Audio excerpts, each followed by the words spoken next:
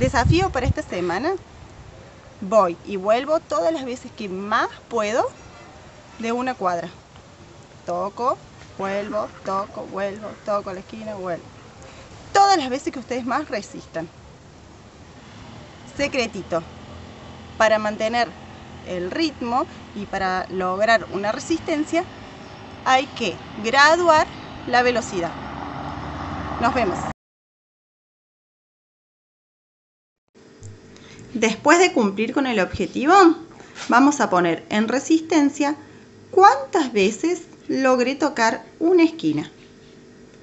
Donde dice resistencia colocamos entonces cuántas esquinas logré tocar.